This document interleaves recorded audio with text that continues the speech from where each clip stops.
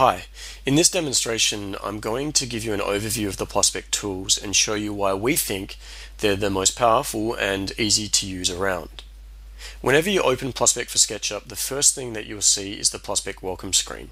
It's good practice just to ensure that your version is up to date because we release up to four major updates per year and these are filled with new tools, new features, improvements and user requests. And the best part is they're free for you to update to and they will only take a moment of your time. We are also continuously releasing new and free tutorials to help you get good fast, whether they be for beginner users, intermediate or advanced. We also have tool specific tutorials. So if you have a question about a tool, simply open it and left click on the question mark to the upper right. Our competitors let you draw virtually with a 3D pencil. But with PlusSpec, you have a virtual builder. Let's call him Bob. When you draw a wall, it's as if Bob has built it for you and it's filled with information, which is BIM, Building Information Modeling. But it's also virtual design and construction because it's filled with structural information which is totally under your control. This goes to a new and exciting level of detail.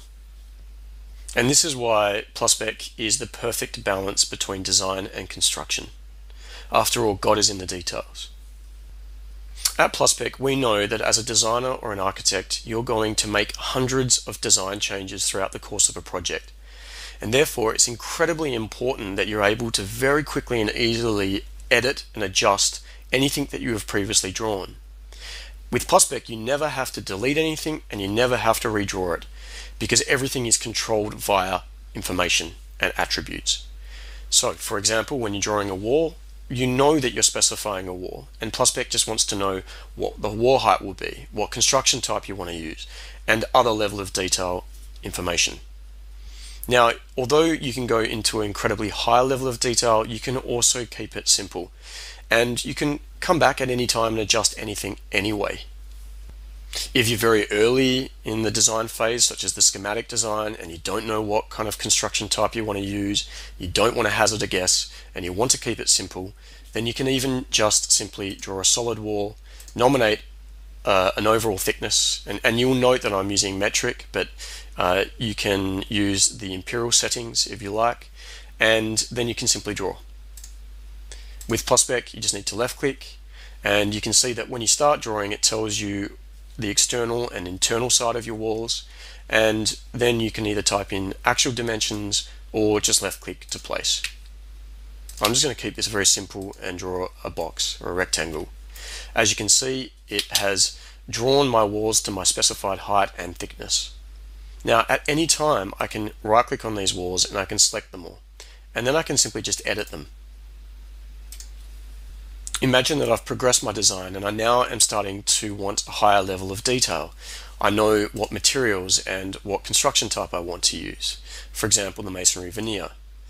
I can then go into even higher level of details for the virtual design and construction aspect.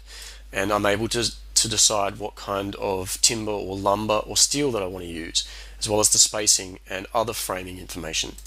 I can also go into my materials and selections and here I can assign real products from real manufacturers or I can use generic ones or I can even create my own. At PlusSpec, we emphasize the use of real products from real manufacturers because obviously the information means something. It will also mean that you can automatically create your specifications as well as you'll be using products at the right time and in the right place. This will mitigate error and oversight. When you're ready, you just press submit and you'll notice that all of your walls automatically adjust.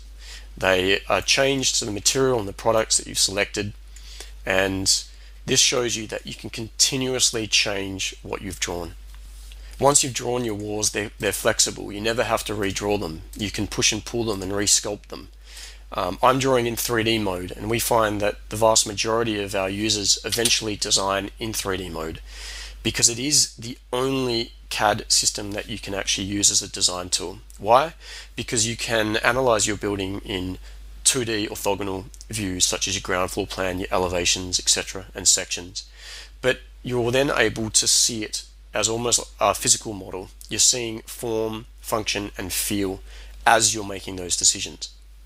However, if you prefer, you can still design in 2D format um, because everything that you're drawing is getting updated simultaneously. To change your viewing mode, simply click on the scene that you want to be on, for example, ground floor plan. And now you're in traditional 2D orthogonal view. PlusSpec is the ultimate sculpting tool, which again ties into the ability to design. You can split your walls, you can push and pull them, and they maintain their connections because they're intelligent and they know how they need to interact. For example, extending the walls. Let's do another cut.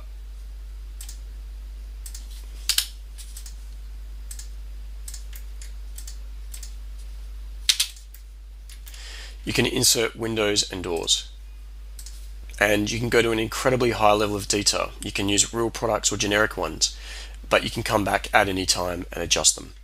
You can also choose from all of the different kind of window and door options. When you place them, they cut through your wall, but they also adjust your framing, and they're starting to build your 3D details. You can see that there's a suggested lintel over that window. If I draw a slightly bigger one to the side, you'll see that it will update it with a suggested larger lintel. And you can adjust these depending on your local requirements or advice from your structural engineer. Let's place a door. As per the window, you can choose from all of the different options, press submit, and then simply place it.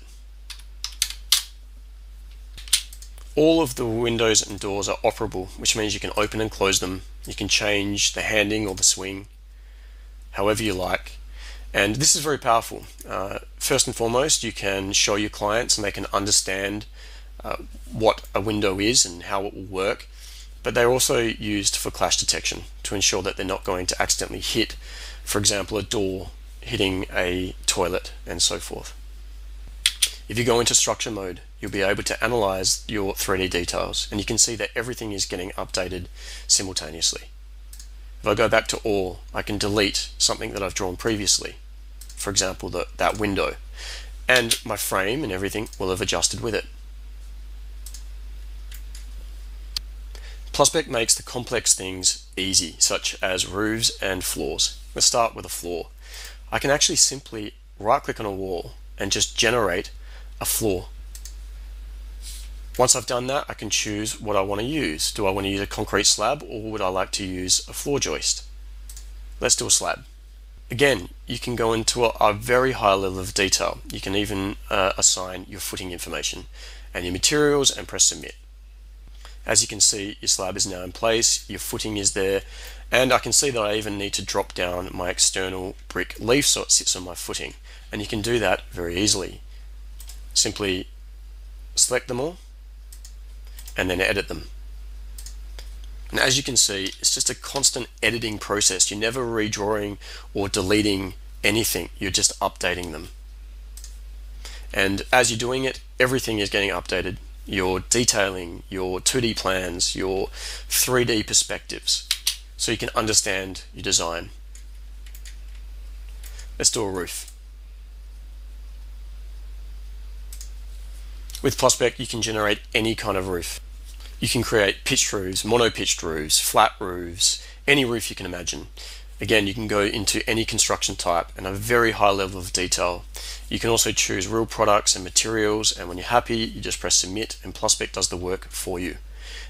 And as you can see, it can create any roof within a couple of seconds. If you go back into structure, you can even analyze the roof framing, or you could change this to trusses. At the click of a button, you can analyze your project costs and ensure that it's going to meet your client's budget. Simply click on the takeoff tool. As you can see, every single thing that you've drawn with PlusSpec is quantified and you can also control the costs.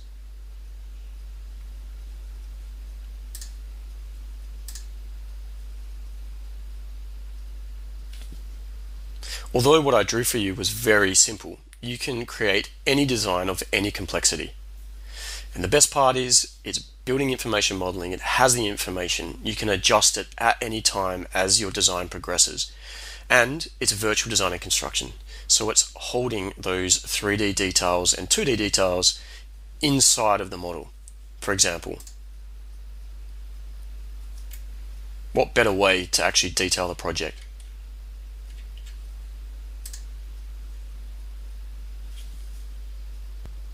Although I've given you a quick overview of some of our tools, there's so many more that I haven't shown you.